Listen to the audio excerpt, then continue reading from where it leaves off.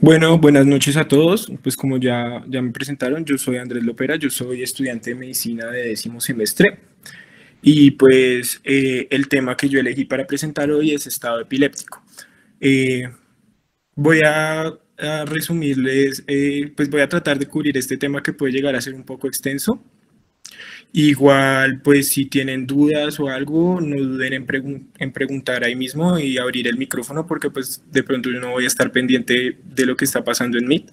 Entonces les agradecería y pues ya si yo no logro resolver la duda, pues contamos con la presencia de los residentes que pues creo que nos va, estarán más contentos de ayudarnos y de resolver la, las inquietudes que surjan.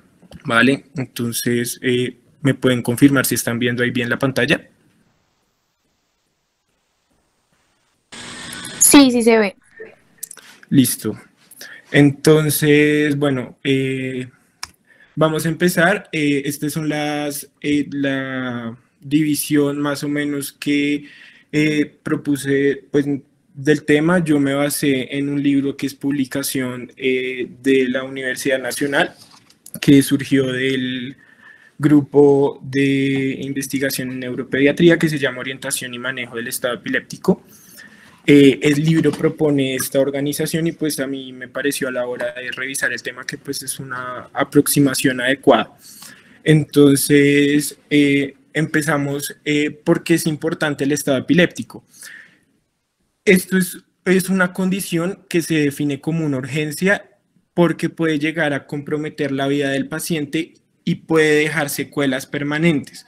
Entonces esto va a hacer que nosotros necesitemos iniciar un manejo adecuado y oportuno con tal de prevenir la aparición de secuelas y de en que el paciente pues eh, no presente más cosas a futuro.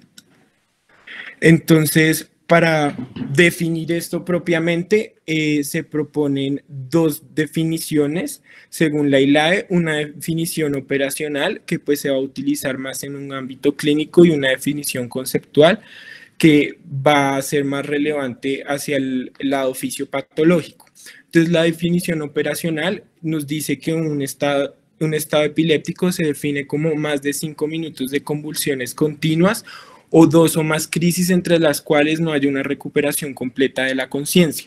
Esto es importante porque a veces eh, no puede uno llegar a pensar que cuando pasa una crisis y pues digamos está en un posictal, eh, el paciente podemos decir que ya terminó, pero después sin recuperar completamente su estado previo a la crisis vuelve a presentar otra crisis, ya lo podemos definir como un estado epiléptico, así la convulsión propiamente no haya durado más de cinco minutos.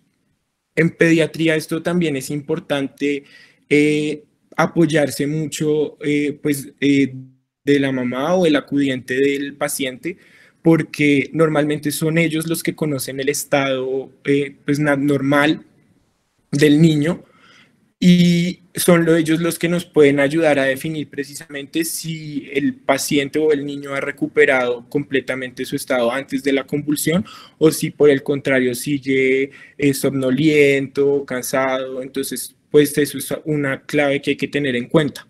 Y la definición conceptual nos dice que es eh, una condición en la que hay un fallo de los mecanismos fisiológicos que sirven para detener una crisis epiléptica.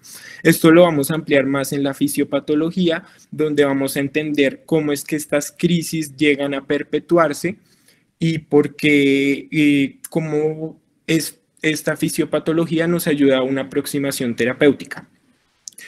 Otra cosa que es clave definir son los tiempos. Normalmente definimos un, tiempo 1 que es básicamente donde ya podemos decir que se instauró, un estado epiléptico, mientras que el tiempo 2 nos eh, da el riesgo de consecuencias a largo plazo. El tiempo 2 también tiene que ver en, el, en la fisiopatología, es cuando los mecanismos de compensación del cuerpo fallan. Entonces, por eso es que es donde se nos van a incrementar enormemente el riesgo de las consecuencias. Estos tiempos se basaron en los estudios de Gasto y Bruto, bueno, no sé cómo se pronuncia bien, Y ellos básicamente lo que hicieron en esos estudios fue observar muchas convulsiones eh, tónico-clónicas y lo que hicieron fue que eh, llegaron a la conclusión de que la mayoría de las convulsiones habían terminado antes de los cinco minutos. Pero también se dieron cuenta que las convulsiones que sobrepasaban la barrera de los cinco minutos tendían a prolongarse mucho más en el tiempo. Ahora, ¿qué es lo que pasa? Que eh, estos tiempos no están definidos para todas las los tipos de crisis. Digamos que en este momento podemos tener estos tres tiempos que estoy mostrando aquí para las crisis tónico-clónicas generalizadas, las crisis focales sin compromiso de conciencia y las crisis de ausencia. Entonces, esos tiempos pues son los que podemos llegar a definir por los estudios, pero pues hay otros tipos de convulsiones que precisamente por su semiología pues definir estos tiempos no es tan fácil. Ahora, hay que también tener en cuenta que eh, de acuerdo a la ILAE, los estados epilépticos se deben clasificar en cuatro ejes. El primer eje, que es, o la primera clasificación que se debe hacer es la semiológica. Esto lo voy a ampliar ahorita un poquito más adelante. El segundo eje es la edad, que pues básicamente eh, tenemos, no es lo mismo eh, un estado epiléptico en neonatos, que es de 0 a 30 días, o lactantes de 1 a 24 meses, niños de 2 a 12 años, adolescentes y adultos de 12 a 59 y adultos mayores mayores a 60 años. Entonces, pues es también importante entender la clasificación. Eh, la etiología que pues básicamente es definir la, causa del estado epiléptico, lo podemos clasificar en causas conocidas y desconocidas, agudas, remotas o progresivas las conocidas. Esto también lo voy a ampliar más adelante y el eje 4 que son los hallazgos electroencefalográficos. Entonces empecemos por la etiología. Entonces la etiología eh, nos basamos en la historia clínica para poder definir eh, la clasificación etiológica del estado epiléptico. Vamos a tener primero un estado epiléptico sintomático agudo, es decir, cuando tenemos una enfermedad la cual nos va a causar una lesión neurológica aguda que puede explicar la presencia del estado epiléptico. Entonces, en esto eh, podemos tener enfermedades como neuroinfecciones, eh, enfermedades metabólicas, traumas, encefalopatía hipóxico-isquémica y errores innatos del metabolismo. Entonces, estas causas, digamos, esto nos ayuda a que, pues, si entendemos la causa del estado epiléptico, además de controlar el estado epiléptico, podemos darle un tratamiento adecuado a la causa y eso nos va a ayudar a, pues, que el estado epiléptico no se nos salga de las manos y controlarlo. Ahora también podemos clasificar el estado epiléptico como un sintomático remoto cuando el paciente tiene una historia previa de una lesión neurológica, presenta el estado epiléptico más o menos después de que la lesión neurológica ya supuestamente ha resuelto y eh, no tiene un desencadenante agudo. O sea, simplemente empezó la convulsión, digamos, de la nada, no le podemos atribuir que pasó algo en específico y eso generó eh, la convulsión. Entonces, uno de los ejemplos que mencionan es eh, la parálisis cerebral, eh, hay síndromes genéticos o secuelas también de traumas e infecciones. La otra categoría es el sintomático remoto con un factor precipitante y estos son pacientes que tienen una lesión neurológica crónica y pues además tenemos la evidencia clara de un precipitante agudo. Entonces, en este caso, un ejemplo clásico es la fiebre en un niño con epilepsia estructural, ya que la fiebre nos, nos tiende a, bajar los umbrales eh, epilépticos y entonces puede ser que los niños que tengan epilepsia diagnosticada y estén, digamos, tomando sus, sus anticonvulsivantes cuando presentan episodios febriles, eh, aumenta de, pronto el riesgo de que presenten una convulsión, por lo que precisamente la fiebre baja el umbral y pues es más fácil. Ahora, esta categoría mencionan que puede llegar a ser controvertida porque pues dependiendo del criterio se puede clasificar en otras categorías, eh, pues que de eso también depende del criterio de cada uno. Ahora, otra de las categorías etiológicas que mencionan es una encefalopatía progresiva. Esto se presenta durante una enfermedad neurológica progresiva, es decir, que tiende a empeorar con el tiempo. Eh, ocurre mayormente entre niños de 1 a 5 años y pues siempre va, siempre va a conllevar un deterioro clínico de la función neurológica del paciente. Entonces aquí tenemos síndromes epilépticos como el síndrome de West, el síndrome de Dravet, Lennox-Gastaut y la Dunkel-Fern. Eh, otra clasificación es el estado epiléptico febril. Eh, esto lo es por ser el más común, eh, lo voy a manejar más adelante, lo voy a ampliar más. Y pues en este caso siempre va a ser un estado epiléptico que ocurre en pacientes que tienen una enfermedad febril que pues tiene los criterios para unas crisis febriles. Eh, aquí pues como adelanto, para que sea como clasificado como una enfermedad febril, acá la enfermedad febril no debe ser causada por eh, eh, una neuroinfección o una patología del sistema nervioso central, porque pues si no lo estaríamos clasificando como un sintomático agudo. Y por último tenemos el estado epiléptico criptogénico, donde no conseguimos, es como un es una clasificación de descarte porque no tenemos la suficiente evidencia para clasificarlo en las categorías anteriores.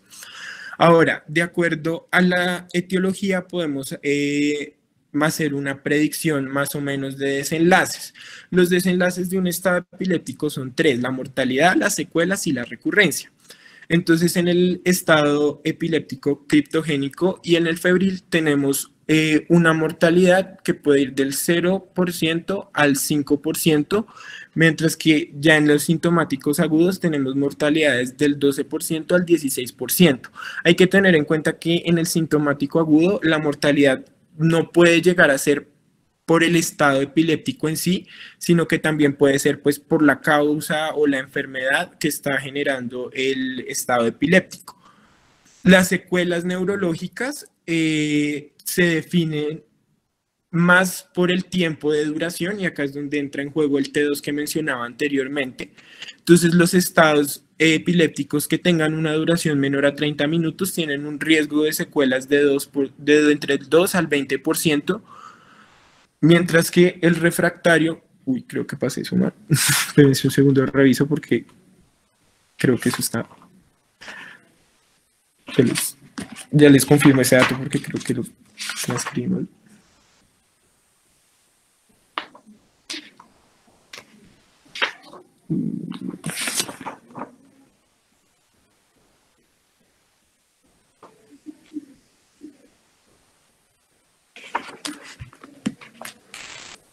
Uh, mentiras, el estado refractario es, estoy revisando, es del 2 al 30%. Tenemos un aumento del 10% en el límite superior.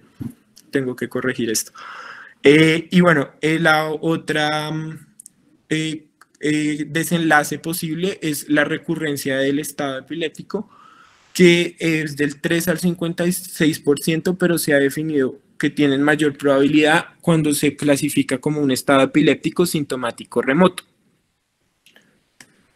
Eh, ahora también es de mencionar que esto también se, ha encontrado que es, el estado epiléptico tiene eh, un trasfondo genético importante y se han llegado a demostrar que determinadas mutaciones en genes que tengan que ver con el metabolismo o el sistema nervioso central pueden favorecer la aparición de los estados epilépticos o pues pacientes que eh, de pronto sin esa mutación no llevarían a tener un estado epiléptico.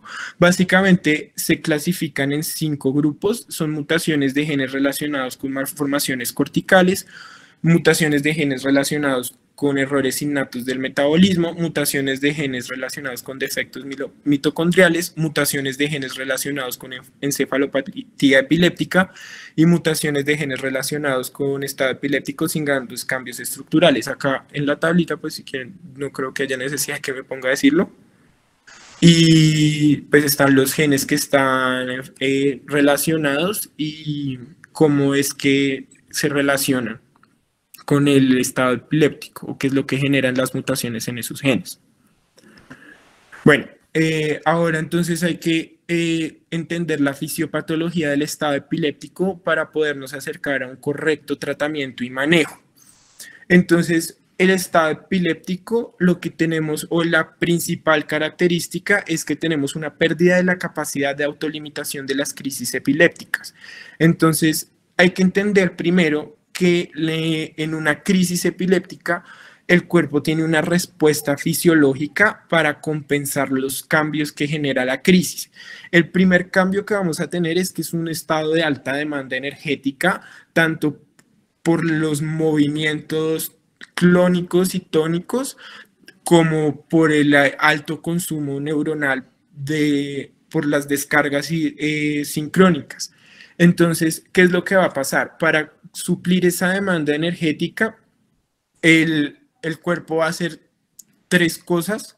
Lo primero es que va a ser eh, aumento, de la, aumento de la presión de perfusión cerebral, eh, subiendo la presión arterial media, porque eh, pues la presión de perfusión cerebral es la presión arterial media menos la presión intracraneal. Entonces, pues la presión intracranial no nos cambia, pues entonces podemos subir la presión arterial media para aumentar la presión de perfusión eh, cerebral. También vamos a tener un aumento de la frecuencia cardíaca para pues eh, aumentar eh, el, tránsito de oxígeno para también suplir e, esa alta demanda energética y vamos a presentar una hiperglicemia que la puse acá entre comillas porque lo que busca esa hiperglicemia es precisamente compensar ese alto consumo energético que está teniendo el tejido cerebral. Y pues recordemos que el tejido cerebral eh, solo puede obtener su energía de parte de la glucosa directamente. Entonces, ese genera una hiperglicemia, pues digamos, si le hacemos una, una glucometría, durante los primeros momentos de una crisis vamos a encontrarnos una hiperglicemia, pero esta hiperglicemia no debe ser tratada porque es un mecanismo compensatorio que inclusive nos está ayudando a prevenir que, eh, que se generen secuelas y más daño cerebral. Pero este, estos mecanismos de compensación van a fallar normalmente a los 30 minutos porque pues no, no se pueden mantener. Y lo que vamos a tener es todo lo contrario.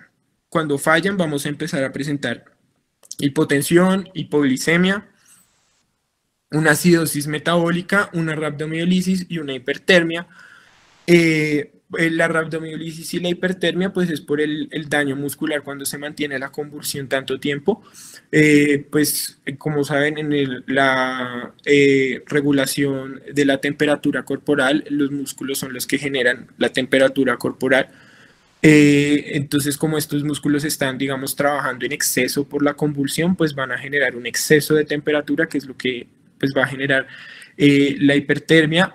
Eh, y pues precisamente ese trabajo continuo del músculo va a generar que pues empiece a presentar una lisis. la hipoglicemia pues se va a presentar es porque se han agotado las reservas de glucosa del cuerpo, entonces es vamos a tener ese problema. Y pues todo esto va a ser una catástrofe para el tejido cerebral, vamos a tener, y aquí es donde van a empezar a aparecer las consecuencias a largo plazo. Entonces aquí es donde es importante el T2 que mencionábamos en las definiciones, porque es por eso, es precisamente por esto que es la importante, lo importante de manejar las crisis antes de que se presenten los 30 minutos. Eh, ahora hay que entender también cómo es que se produce la cómo se genera esa pérdida de, de regulación de la crisis. Entonces tenemos el receptor GABA, que va a ser un receptor inhibitorio. Entonces este receptor es eh, la clave para precisamente controlar esas eh, crisis o esas, esas despolarizaciones continuas. ¿Qué es lo que pasa? Hay que entender que este receptor tiene un problema y es que si se sobreestimula, se va a, va a generar una endocitosis y se va a degradar. Entonces, es por eso que entre más tiempo pase el estado epiléptico, mm, vamos a tener menos receptores GABA que nos van a ayudar a controlar la crisis. Entonces, aquí es donde van a trabajar en el receptor GABA los medicamentos que se conoce como primera línea, eso lo vamos a ver más adelante en el tratamiento, que son las benzodiazepinas. Las benzodiazepinas el receptor GABA tiene cinco subunidades, dos alfa, dos beta y una gamma. Las benzodiazepinas trabajan en la unión entre la unidad alfa y la unidad gamma. Y el GABA, eh, que es la, pues, la molécula endógena que lo activa, trabaja entre la unidad alfa y la unidad beta. Entonces hay que tener también en cuenta que eh, se debe pues, preguntar eh, si el paciente tiene un uso crónico de benzodiazepinas, porque el uso crónico disminuye la cantidad de receptores sensibles, entonces va a ser más difícil manejar el, el, estado epiléptico con las benzodiazepinas. Otro receptor que es muy importante son los receptores eh, ionotrópicos de glutamato, porque ellos son los que van a perpetuar eh, la crisis y generar el daño neuronal. En principal tenemos el receptor NMDA, que normalmente se encuentra bloqueado por magnesio.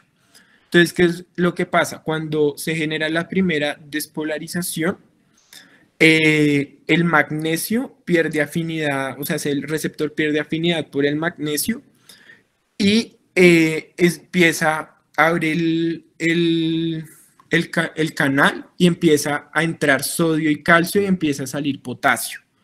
Entonces, esto nos va, va a ser grave en el sentido de que estamos generando un, desbalance iónico que nos va a favorecer la muerte celular porque vamos a tener una falla metabólica, activación de la apoptosis y de vía de las caspasas. Entonces, este receptor además tiene un problema y es que una vez él se activa, puede mantener su actividad por sí solo y continuar despolarizando las células de una forma sostenida.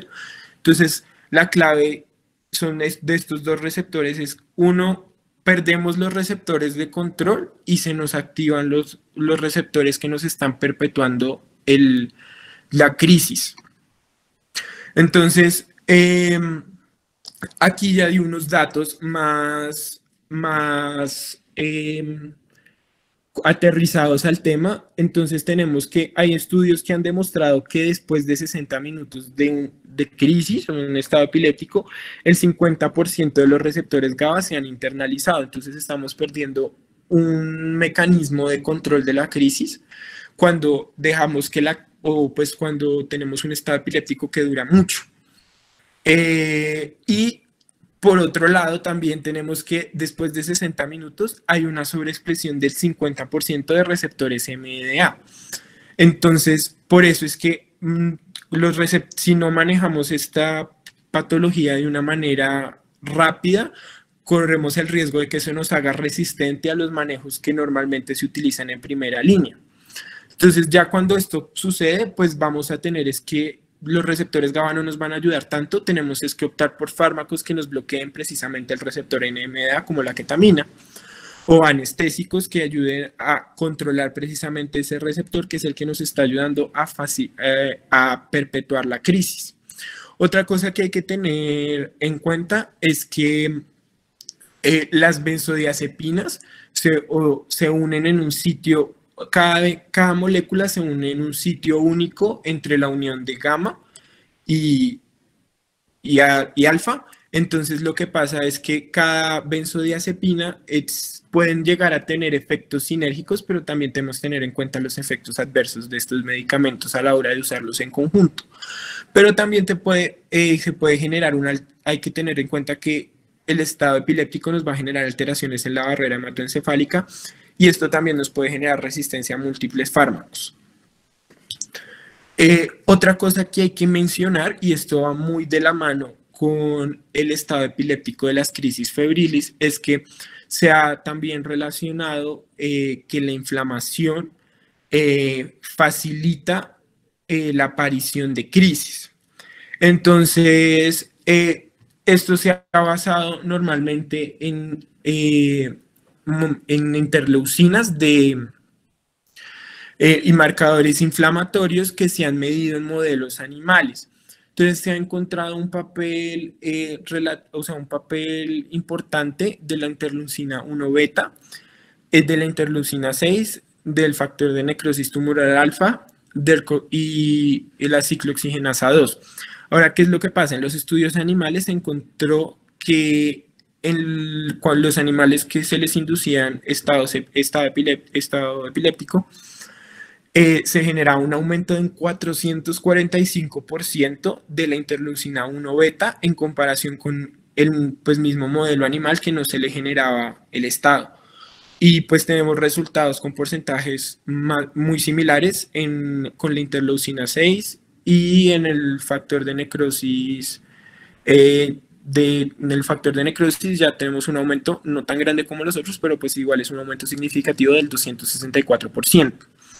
Ahora, eh, ya se le ha logrado atribuir, a la interleucina 1 un papel relevante en el desarrollo de estos síndromes epilépticos, porque parece ser que ella genera una reducción de la inhibición de GABA en, una zona, en la zona CA3 del hipocampo y además nos potencia la actividad del glutamato en el receptor NMDA. Entonces, esta molécula básicamente está haciendo todo para que se genere un estado epiléptico porque nos inhibe los eh, como receptores de control y nos activa los receptores de, estimulación. Entonces tenemos ese problema con esa molécula. Pero aún así, eh, se ha demostrado que esta, mm, esta interleucina 1 beta tiene también una eh, importancia dentro del aprendizaje y la memoria normal porque eh, se ha demostrado que pérdida genética por mutaciones en los genes que producen esta interleucina eh, van a generar deterioro del aprendizaje y de la memoria. Ahora, también hay que tener en cuenta que en los estados eh, se produce, en los estados de inflamación se pueden producir prostaglandinas que también nos van a llegar a producción de radicales libre y van a modificar corrientes de calcio en el astrocito, lo que lleva más liberación de glutamato, que es el que nos va a activar el receptor NMDA. Bueno, entonces ya después de que tenemos eh, pues entendida la fisiopatología, tenemos ahora que hablar de eh, la semiología. Entonces, aquí nuestra principal herramienta vuelve a ser la historia clínica, porque también la semiología nos va a ayudar a hacer una correcta aproximación diagnóstica de la epilepsia. Con un correcto enfoque diagnóstico y una adecuada clasificación de la crisis, vamos a ser capaces de brindar al paciente un tratamiento adecuado y con eso una mejor calidad de vida, previniendo la aparición de secuelas. Entonces, a la hora de mm, entender la crisis, o sea, la semiología es básicamente definir qué es lo que está pasando en la crisis, porque las crisis eh, del estado epiléptico no solo es la convulsión que todos estamos acostumbrados a ver, que eh, son los movimientos, eh, la rigidez y pues no es solo eso, hay muchísimas manifestaciones y pues es importante definirlos. Entonces por eso la ILAE ha tenido una, ha generado como unos términos, unas definiciones que pues es importante saberlas para que todos eh, a la hora de escribir la crisis estemos eh, hablando de lo mismo. Entonces, primero vamos a tener que una crisis motora va a ser una crisis que presenta un aumento o una disminución de la contracción muscular. Una mioclonía negativa es una interrupción de la actividad tónico-muscular menor a 500, a 500 milisegundos sin una evidencia de un sobresalto previo. Una crisis versiva va a ser un movimiento sostenido ocular conjugado, cefálico forzado y que puede presentar rotación de tronco o desviación lateral respecto a la línea media hacia la derecha o hacia la izquierda. Ahora, las crisis distónicas son contracciones sostenidas de músculos agonistas y antagonistas al tiempo, lo que va a generar una torsión, eh, pues que va a ser eh, evidente también vamos a tener eh, unas crisis hipomotoras en donde pues va a disminuir la actividad que está antes de la, o sea, cuando se tenía una actividad establecida, viene una crisis, viene una crisis hipomotora que baja un poquito la intensidad de la actividad. Una crisis disfásica va a ser una crisis que va a tener una alteración de la comunicación y que involucra el lenguaje sin una disfunción sensitiva ni motora. Entonces esto quiere decir, el paciente no tiene eh, una alteración que le impida hablar o le impida escuchar, sino que es precisamente el lenguaje el que no lo entiende. Entonces puede tener alteraciones en la comprensión, puede tener anomia eh, o puede tener errores para, parafrásticos a la hora de hablar. Puede que pueda hablar, pero cometa errores a la hora de generar eso. La crisis dacrística, que es la aparición de llanto, la gelástica, que es la presencia de risa, un factor provocante va a ser un elemento endógeno o exógeno transitorio que pues va a aumentar la ocurrencia de las crisis. Y eh, una crisis reactiva que va a, ser, va a ser una crisis que va a estar asociada a una perturbación transitoria sistémica como una enfermedad intercurrente, la falta de sueño, estrés emocional o la suspensión de medicamentos antiepilépticos. También tenemos crisis reflejas que van a ser evocadas por actividades aferentes específicas que pueden ser elementales como flashes o sonidos simples o complejas que pueden ser eh, activadas por cosas como la música o sinfonías o, bueno, cosas más complejas. La crisis motora compleja va a ser movimientos del cuerpo que asemejan a movimientos naturales. Eh, es decir, eh, puede ser como eh, caminar, eh, realizar acciones con las manos que pues parezca, por ejemplo, puede ser abotonarse o desabotonarse una, un, pues, un botón. Una crisis hipermotora va a, presentar movimientos vigorosos y violentos y las estereotipas son movimientos repetitivos no funcionales, puede ser tocarse la cara o pues realice, eso también depende mucho de cada tipo y de cada paciente, pero pues la clave de esto es que no es un movimiento funcional como por ejemplo si pueden llegar a ser las crisis motoras complejas. Eh, ahora hay que tener en cuenta que la semiología eh, presenta dos clasificaciones grandes. Una son las crisis generalizadas, es decir, no podemos atribuir un foco exacto en todo, en, en el, eh, o sea, podemos atribuir un foco en el sistema nervioso central y en estas eh, vamos a tener unas eh, manifestaciones, digamos, un poco más amplias. Entonces, la primera categoría de las crisis generalizadas va a ser la crisis tónico-clónica generalizada, que es básicamente lo que todo el mundo puede llegar a conocer como epilepsia. Entonces, de esta crisis vamos a tener tres fases. La pretónico-clónica, en donde vamos a tener mioclonías simétricas o asimétricas y puede haber una desviación oculocefálica. Vamos a pasar a una fase tónico-clónica, entonces donde primero vamos a tener un espasmo flexor tónico y después va a haber una extensión y se puede presentar el sonido gutural característico que se conoce como grito epiléptico. Después de esto vamos a tener una fase posictal que pues no se considera que forme propiamente de propiamente de la crisis, pero pues vamos a tener una somnolencia y hipotonía después. También en las crisis generalizadas podemos tener crisis solotónicas, entonces vamos a tener un aumento sostenido de, de la contracción muscular que puede tener una duración de 2 a 10 segundos o crisis solo clónicas en donde se, eh, se repite de manera regular y prolongada eh, el movimiento de un mismo grupo muscular y puede tener una alteración del estado de conciencia. Vamos a tener también ausencias típicas donde vamos a encontrar desconexión breve y transitoria con el entorno. Y eh, para que sea una típica es de un inicio y final brusco, o sea, tiene que durar menos de 20 segundos y eh, no está acompañada de signos motores y normalmente estas se pueden provocar con hiperventilación.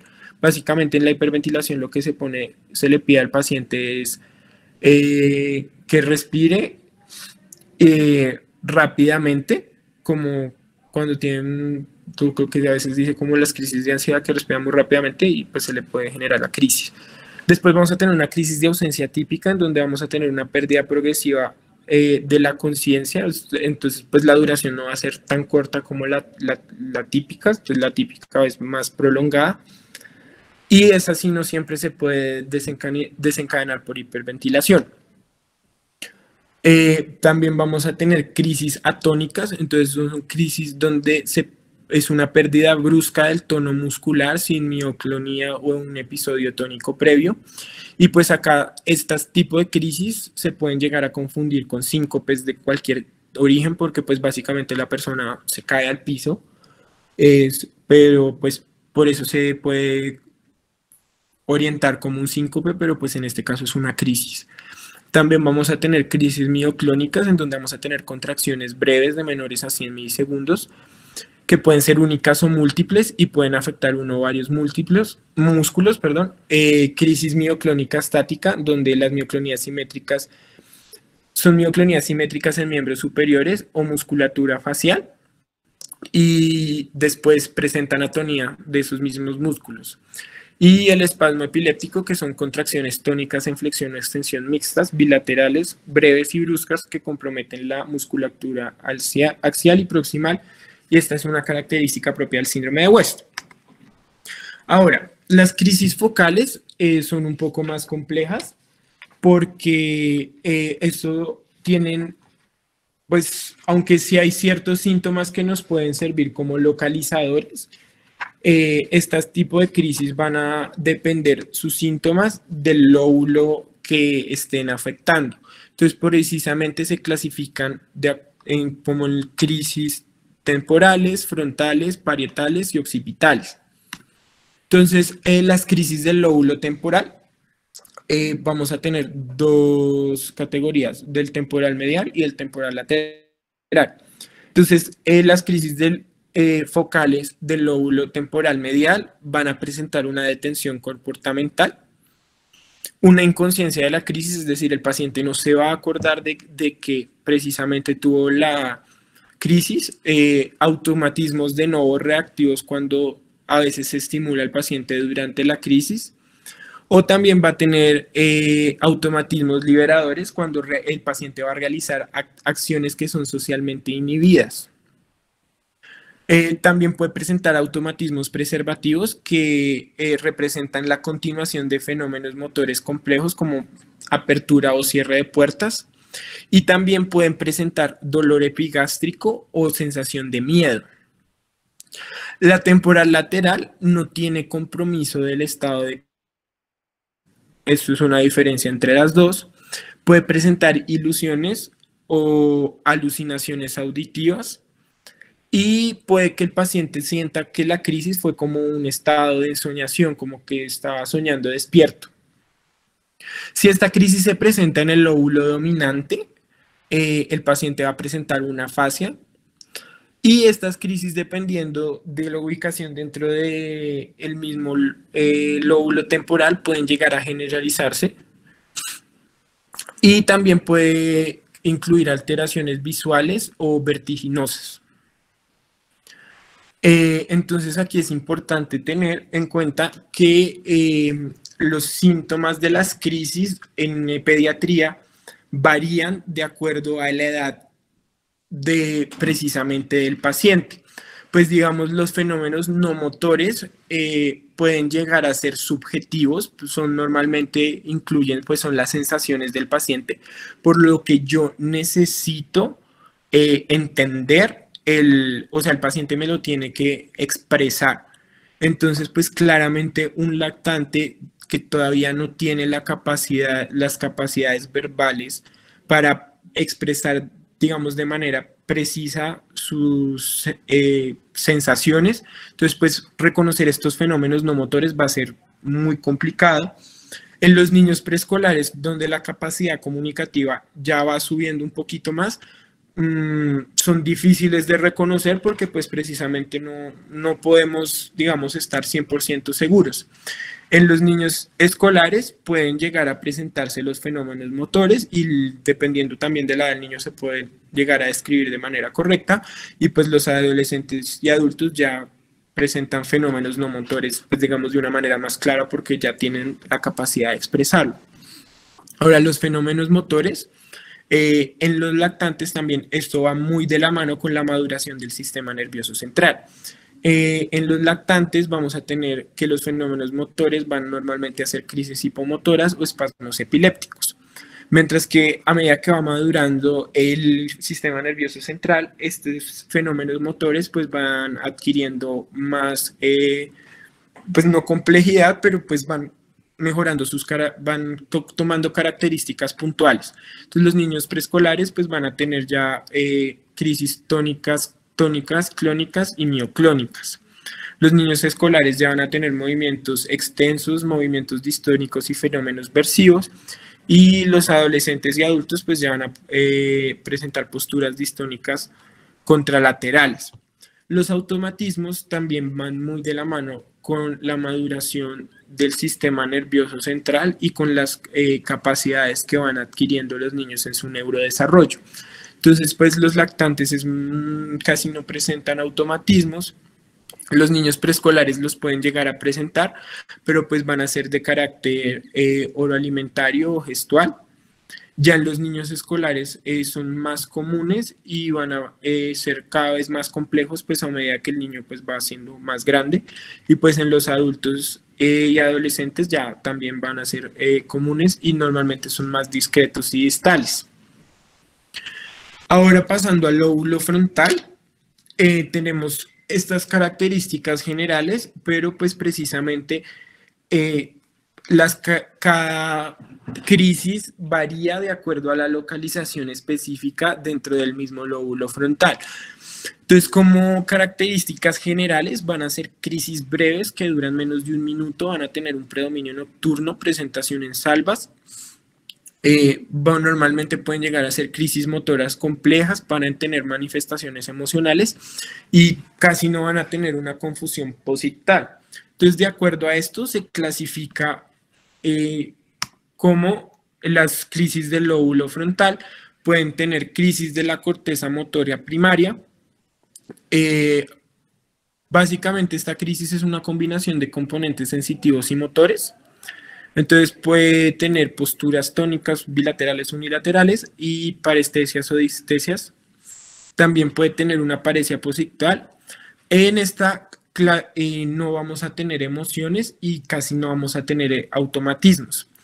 En, mientras que en las crisis de la corteza motora suplementaria de un inicio y un final abrupto, pero vamos a presentar síntomas autonómicos como disnea o presión torácica, mareos, escalofríos, bueno. Y las posturas tónicas bilaterales o, unilaterales. Las crisis de la región frontopolar anterior normalmente se preceden por versión oculocefálica, pensamiento forzado y un compromiso del estado de conciencia temprano, eh, movimientos versidos de la cabeza y los ojos contralaterales al foco, es decir, si está contralateral al foco, o sea, el movimiento de la cabeza y la versión de los ojos es eh, a la derecha, pues el foco va a estar a la izquierda y viceversa. Y esta crisis sí va a tener un, como va a estar precedida por síntomas emocionales. La crisis de la corteza singular van a ser automatismos gestuales motores complejos al, inicio, al comienzo. Eh, después vamos a tener signos autonómicos y cambios afectivos y de humor. Y puede haber un, durante la crisis también puede generar un miedo, pero también se ha descrito risa durante la crisis y puede también presentar una crisis hipermotora. Después tenemos las crisis frontal dorsolateral, en donde va a haber una aversión de la cabeza y de los ojos contralateral al foco y bloqueos del habla. Y vamos a tener posturas eh, tónicas de las extremidades y menos frecuentemente se pueden presentar movimientos tónicos. Y aquí vamos a tener automatismos orales y manuales. También va a haber pensamiento forzado y puede haber un componente, y no va a tener un componente emocional.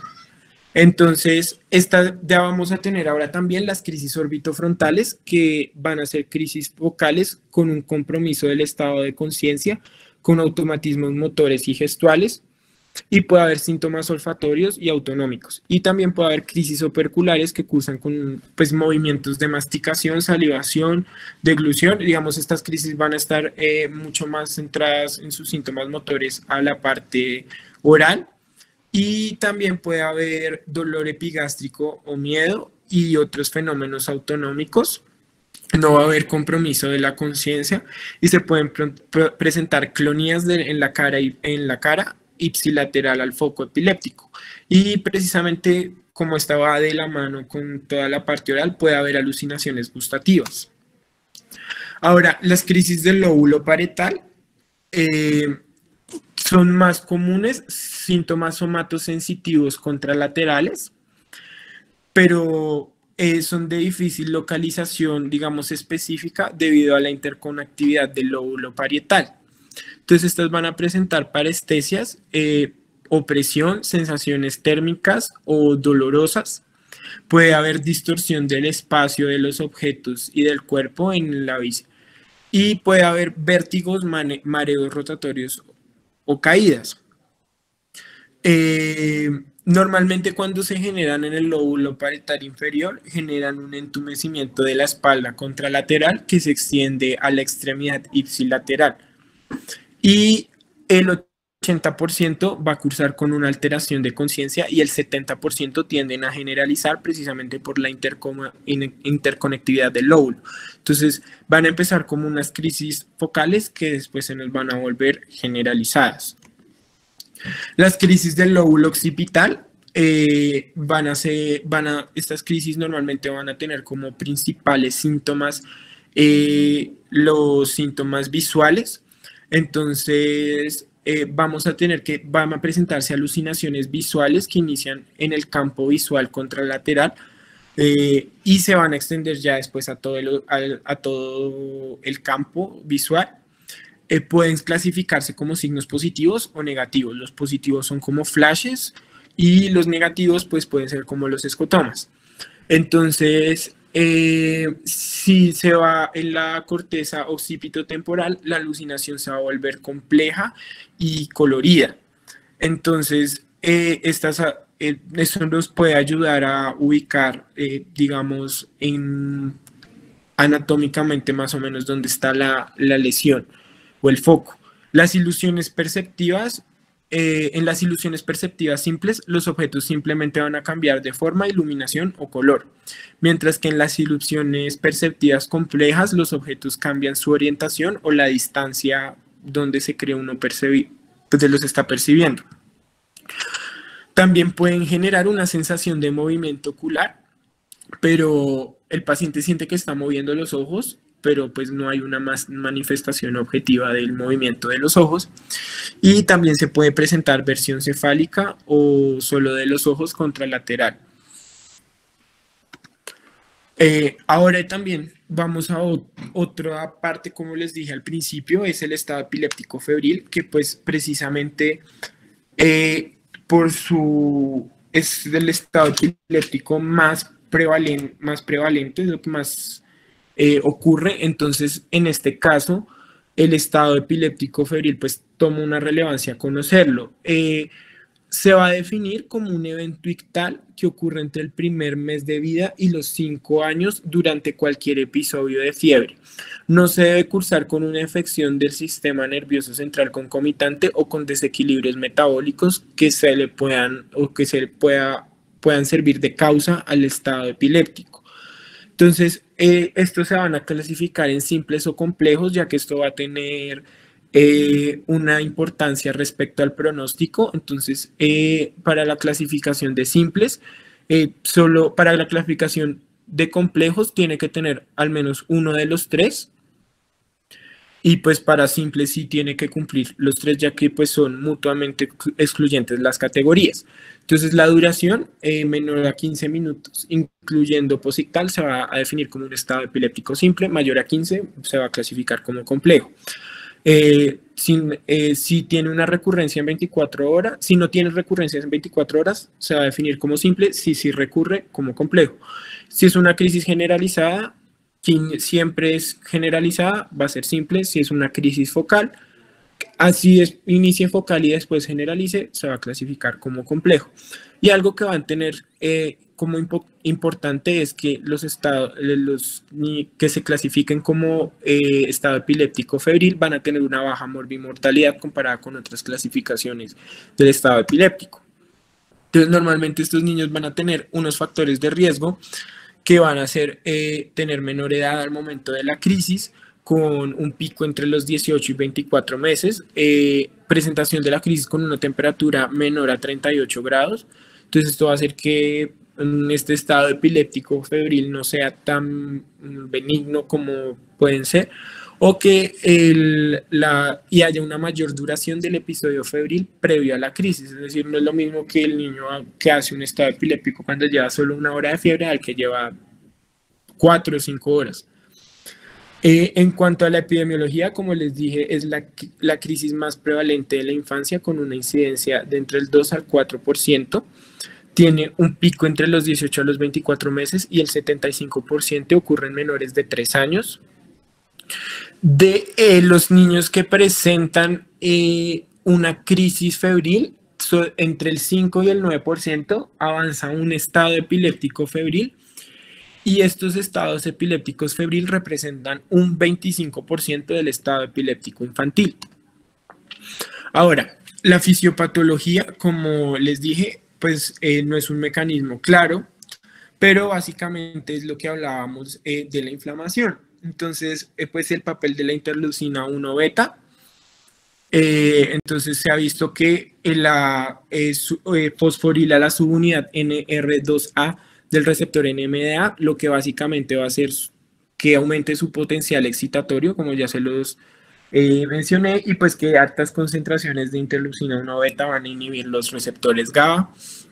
Mm, los, eh, las citoquinas inflamatorias que van a jugar eh, un papel importante porque los pirógenos exógenos, o sea, producidos por bacterias o virus, van a inducir la producción de sustancias por parte de la microglía y van a, van a, pues van a generar eh, pues estas moléculas y el polimorfismo genético pues que ya lo hablamos anteriormente. Las crisis simples no van a tener un aumento de, o un riesgo de desarrollar epilepsias, mientras que las crisis complejas sí van a tener un riesgo de desarrollar epilepsia entre el 4 al 15% comparado con la población normal y pues el tratamiento es orientado al control rápido de la crisis. Eh, y pues la mayoría de niños no requieren, digamos, seguir el tratamiento anticonvulsivante de manera ambulatoria y no recomendamos profilaxis. El estado epiléptico no convulsivo, eh, pues hay que tener en cuenta que es una, condición que se presenta con una alteración del estado de conciencia o de percepción sensorial asociada a una actividad normal paroxística continua en el electroencefalograma. Eh, básicamente esto depende, es eh, como no hay una manifestación motora clara, pues depende mucho de la sensación y de lo que describa el paciente.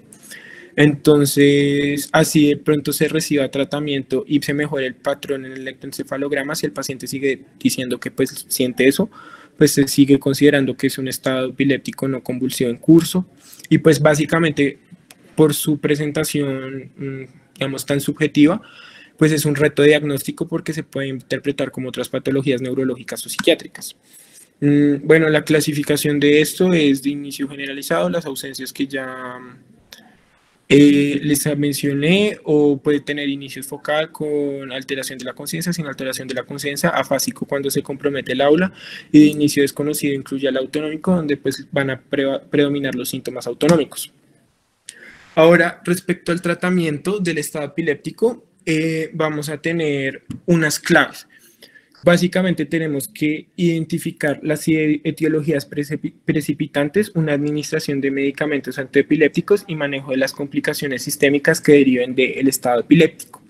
Vamos a tener unos eh, tres momentos en las crisis, en los estados epilépticos, digamos así, normales, y dos momentos adicionales cuando pues, los momentos anteriores eh, no logran controlar la, crisis y pues de acuerdo a cada momento se da un tratamiento. Entonces, la meta siempre va a ser controlar la crisis en el menor tiempo posible, como les mencionaba, precisamente para evitar las secuelas. Entonces, en el tratamiento eh, inmediato o inicial, básicamente va a ocurrir entre los, primero, entre los primeros cinco minutos en los que nosotros recibimos el paciente. Lo primero que tenemos que hacer es medidas de soporte vital, signos vitales, eh, medidas no invasivas para mantener la vía aérea, realizar una ventilación adecuada, eh, una ventilación adecuada del paciente y un soporte circulatorio Después vamos a hacer un examen neurológico y una semiología de la crisis con lo que tenemos. Ahora, aquí no nos podemos eh, detener a hacer un examen neurológico complejo porque pues precisamente estamos es contra el tiempo, pero pues básicamente lo que podemos ver, eh, por lo menos ver si el estado de, hay compromiso del estado de conciencia o no. Y pues eh, describir la semiología de la crisis que estamos presenciando en ese momento. Y después vamos a tomar eh, unos paraclínicos. Básicamente tenemos que lograr eh, un acceso intravenoso para la administración de los medicamentos, que son las siguientes fases, la toma de un hemograma, una glicemia, unos electrolitos y unos hemocultivos, básicamente para mirar si tenemos una causa subyacente que podamos tratar para controlar el estado epiléptico. Eh, después vamos a tener el tratamiento emergente o de primera línea, que va a ser antes de los 10 minutos. Eh, vamos a primero administrar dextrosa al 10% y electrolitos si en los paraclínicos que tomamos en el primer momento evidenciamos un desbalance electrolítico. Esto es para garantizar el soporte metabólico y pues la corrección de los desórdenes electrolíticos que hayamos encontrado.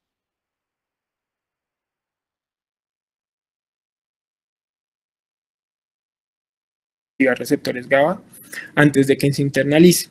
Si con una sola dosis, o sea, normalmente estas eh, benzodiazepinas se dan en una sola dosis. Si no se controla con la primera dosis, eh, le podemos repetir la siguiente dosis. Entonces, eh, los medicamentos que vamos a usar pueden ser el diazepam con una dosis de 0.3 a 0.5 y con hasta máximo de 10 miligramos, el midazolam con una dosis de 0.1 a 0.2 miligramos por kilo hasta 10 miligramos intramuscular o podemos ponerlo nasal a 0.5 miligramos por kilo y el clonazepam que es dosis de 0.03 a 0.05 miligramos por kilo. Bueno, el tratamiento urgente de segunda línea es cuando el primer el tratamiento de primera línea no nos funcionó. Entonces, básicamente lo que vamos a hacer en el tratamiento de segunda línea es, si no hemos repetido ya la dosis eh, de la benzodiazepina, la repetimos y vamos a usar una serie de antiepilépticos dependiendo de pues, eh, la decisión clínica que, tome, que pues que se tome. Hay que tener en cuenta que estos antiepilépticos pueden tener contraindicaciones, entonces acá en esta tabla pues están resumidas esas eh, contraindicaciones y los medicamentos que están contraindicados y qué es lo que causan pues si se llegasen a administrar cuando se presentan esas comorbilidades. Eh, los medicamentos que vamos a usar en la segunda línea son, puede ser la fenitoína, vamos a usar dosis de carga y dosis de mantenimiento. Básicamente, eh, aquí vamos a, vamos a usar eh, estas dosis eh, más o menos hasta por una hora. Básicamente, después de una hora ya tiene que haber control de la crisis, si no, ya va, a pasar a los siguientes escenarios.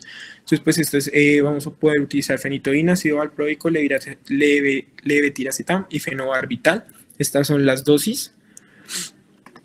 y ya si esas medidas no cargan, no funcionan, eh, vamos a iniciar el manejo, como se define un estado epiléptico refractario y va a requerir un manejo adicional. Este manejo ya se debe realizar en UCI porque básicamente vamos a, eh, hacer un eh, anestesiar al paciente. Entonces aquí vamos a usar fármacos como el midazolam, el propofol, el pentobarbital, la ketamina y el tiopental en las dosis que están, con dosis de carga y dosis mantenimiento. Ahora, estos medicamentos ya se pueden ir hasta 24 horas en sus dosis de mantenimiento y si aún así no tenemos un control de la crisis, pues vamos a tener lo que se conoce como un estado epiléptico super refractario. Este estado epiléptico básicamente es 24 horas seguidas de estado epiléptico sin control, con fallo de todo. Entonces acá lo que podemos hacer es que podemos combinar eh, los eh, anestésicos de la, del estado refractario con antiepilépticos de la segunda línea, buscando una potenciación y sumatoria de efectos, buscando pues, que se controle la crisis, o podemos tomar ya unas medidas, digamos, no tan mm, tradicionales, que puede ser la hipotermia, entonces esto va a ser la disminución de la temperatura corporal entre los 32 y 36 grados, pero pues obviamente esto ya tiene un riesgo mucho mayor, pero pues hay que tratar de controlar esa crisis. La dieta cetogénica va a ser eh, básica consiste en la eliminación de carbohidratos y altos consumos de grasa y pues esto se ha demostrado que sí tiene un efecto y puede llegar a controlar muchas crisis. Básicamente se cree que es porque cambia, hace un cambio en el metabolismo neuronal o también puede requerirse una cirugía de epilepsia Básicamente lo que se hace es recepción de focos epilépticos cuando se haya demostrado mediante electroencefalograma y neuroimágenes su participación clara. Y pues por último les quiero compartir este eh, algoritmo pues, de manejo que se encuentra en el libro. Eh, básicamente es un resumen de todo lo que se tiene que hacer eh, cuando tenemos el diagnóstico de un estado epiléptico, más que todo esto sea en urgencias. Y pues ya eso es todo.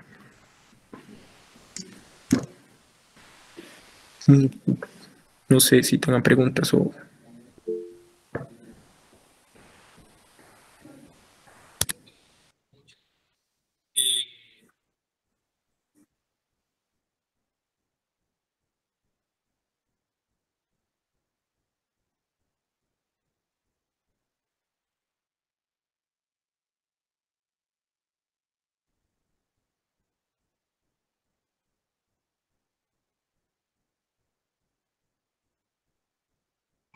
Bueno, muchachos, entonces lo primero, mi nombre es Jennifer Guzmán, yo soy R2 de Neuropediatría. Lo primero es que sepan que esto es común y les va a tocar a ustedes.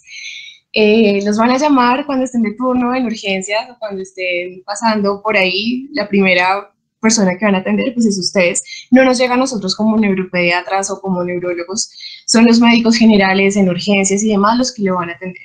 Y en ese sentido, ustedes deben volverse expertos por lo menos en manejar la primera y segunda línea del manejo de estatus epiléptico. Lo que tienen que hacer es, depende de en qué hospital están, saber manejar la benzodiazepina que tengan. Eh, mencionaron tres, midazolam, diazepam y clonazepam. Generalmente pues estas son intravenosas y la que tengan es la que es la indicada para usarse. Tienen que saberse las dosis sí o sí, eh, el midazolam es lo que generalmente nosotros usamos. Recuerden los efectos secundarios del midazolam, entonces puedo generar depresión respiratoria, hipotensión, sedación, entonces tengo que tener vigilado esta parte. Mm, otra cosa importante, y eso lo he visto mucho cuando era médico general, y era un paciente convulsiona un minuto y ya le están clavando benzodiazepina, y así no funciona. Entonces, recuerden que lo primero es, si es un paciente que no tiene diagnóstico de epilepsia, pues eh, buscarle la causa sintomática, ¿cierto? Infección, fiebre, un absceso, un tumor, pues lo que se les ocurra en ese momento. Em, los medicamentos de segunda línea, lo que nosotros generalmente vamos a encontrar en los hospitales es fenitoína, eh, valproico, levetiracetam, con suerte en algunos hospitales pues vamos eh, a tener. Cosas importantes eh, generalmente es que nosotros no usamos en crisis o en epilepsias generalizadas fenitoína porque pues pueden agravar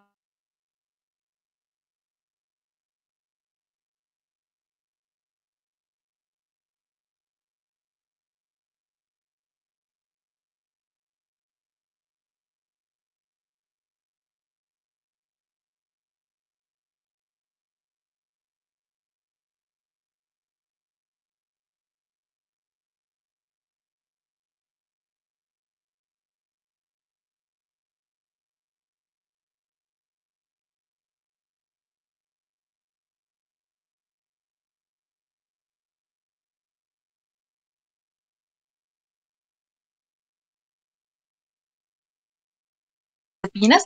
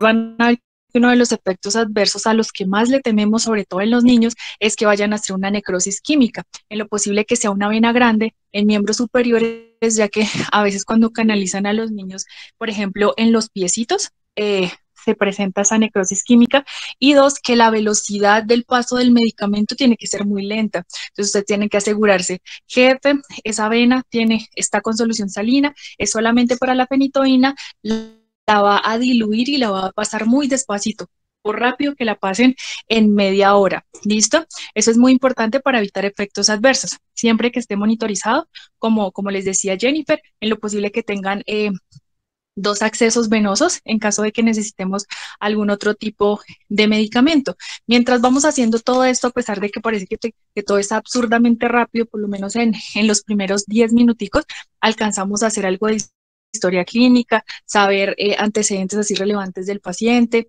si hubo, buscar alguna causa tratable, que es de lo más importante.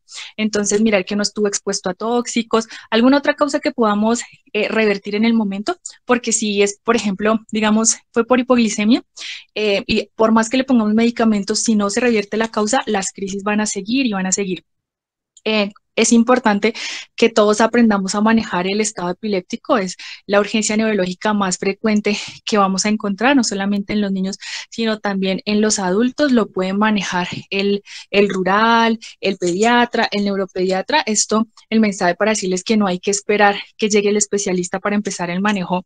Eh, del estatus. Eh, y por último, quiero felicitar al expositor. Fue una charla muy buena, muy completa. Se notó que revisó a profundidad el tema. Eh, fue una charla muy enriquecedora para todos los, los participantes.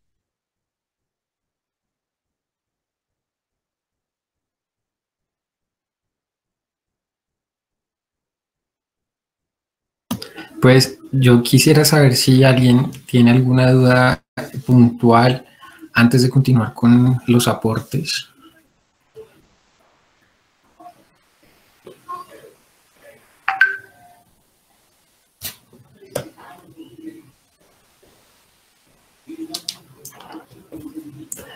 No, nadie.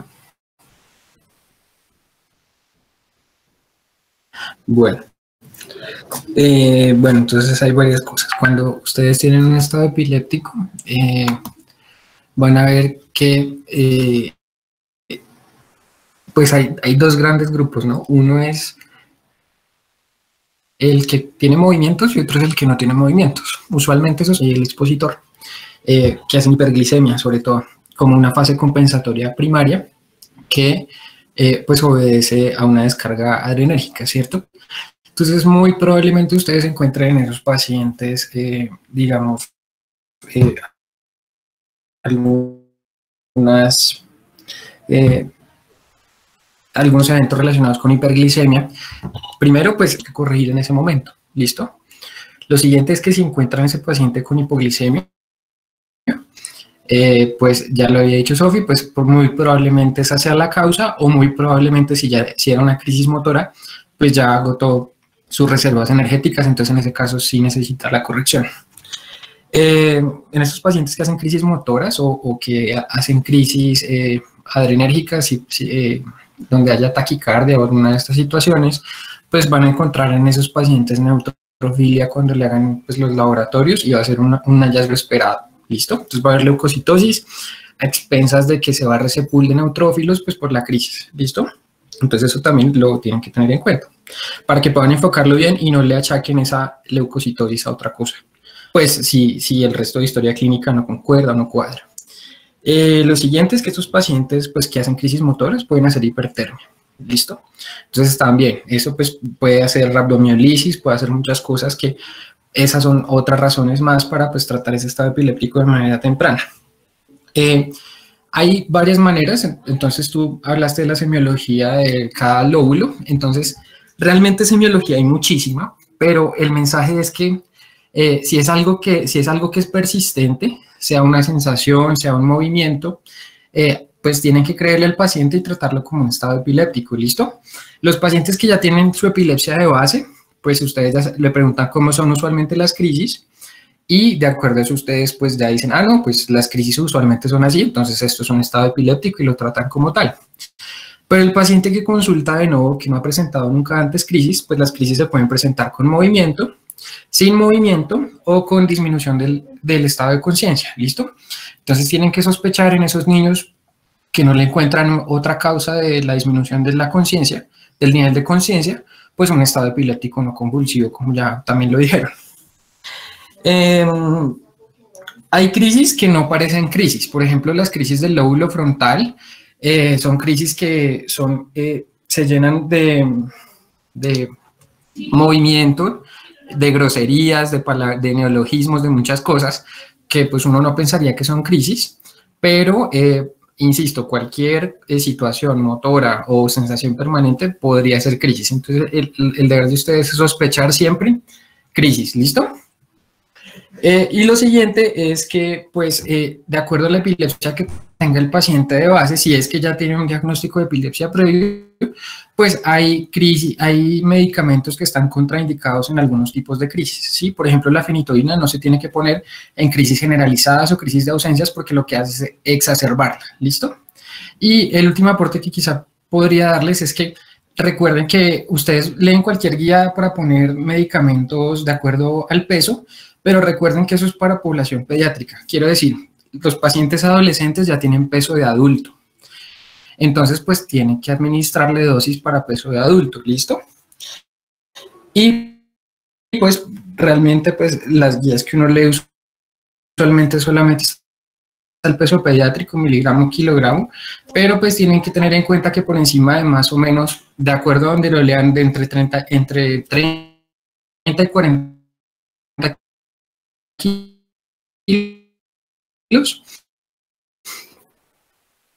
el límite es un poco amplio, pero digamos que 35 kilos como para hacer un promedio. De ahí para arriba se maneja como un adulto en cuanto a las dosis de medicamentos. ¿Listo? Entonces nosotros como, como médicos generales, pediatras, neuropediatras, que vemos población pediátrica, tenemos que sabernos las dos dosis, la, la de miligramo, kilogramo dosis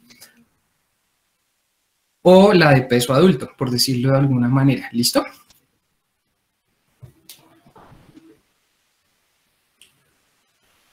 Vale, muchas gracias a todos por su atención prestada.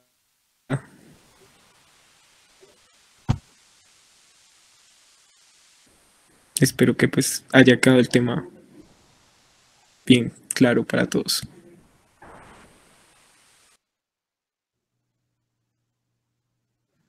Gracias. Bueno, muchas gracias Andrés y Juan Carlos.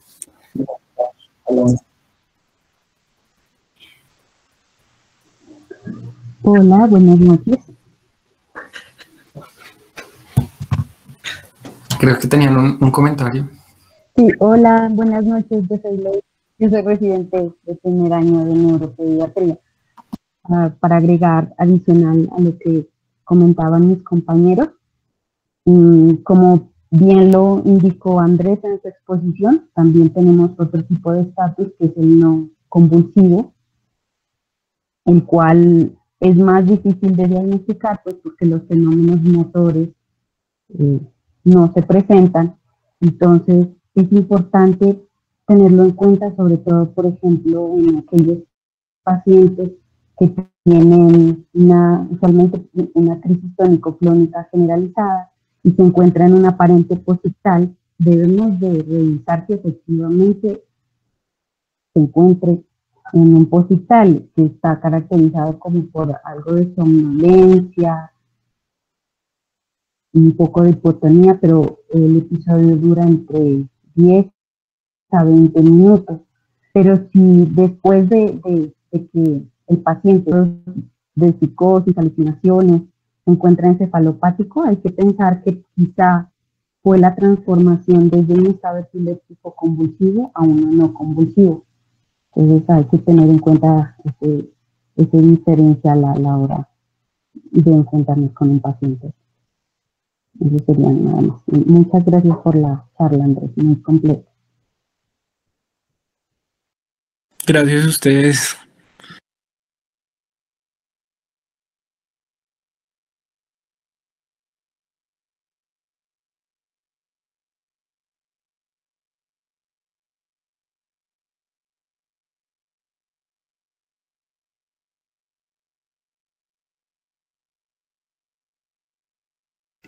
Feliz noche a todos.